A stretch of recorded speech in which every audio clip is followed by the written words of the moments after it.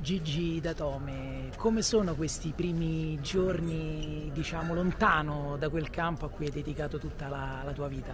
Sì, eh, non troppo lontano perché sono sempre dietro eh, a aiutare con l'Olimpia Milano. Eh, sto bene, è passato poco tempo per tirare le somme, però mi sento molto bene soprattutto sto bene con me stesso, che è una cosa non banale. Molti, molti, campioni gli viene chiesto se decidono quando smettere. Tu quando hai maturato questa decisione? Questa decisione di dire addio al basket? È un po' durante la scorsa stagione, eh, per una serie di motivi mi hanno fatto capire che poteva essere l'ultima stagione, però ho aspettato alla fine per prendere la decisione finale, ero convinto della scelta, quindi così è maturato.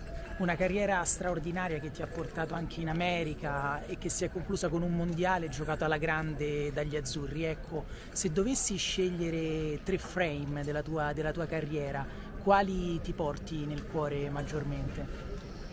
Eh, ho avuto la fortuna di averne tanti di frame belli, eh, sicuramente la vittoria dell'Eurolega, lo scudetto anche con Milano, gli ultimi due sono stati molto belli, eh, il mio ultimo anno a Roma è stato molto bello e anche la fotografia finale del mio ritiro di fatto con la nazionale anche che c'è sempre stata, insomma sceglietene una, una di queste senza dimenticare appunto l'NBA che è lo stesso in cui è stato molto bello esserci. Arrivasse una chiamata dalla nazionale, ti piacerebbe magari accompagnare i ragazzi verso il sogno olimpico perché non sarà facile mm. arrivare a Parigi? Mm, non lo so, adesso penso a fare quello che sto facendo e ogni cosa a suo tempo. Adesso sono molto concentrato a capire come aiutare l'Olimpia e imparare il più possibile che è la cosa più importante adesso.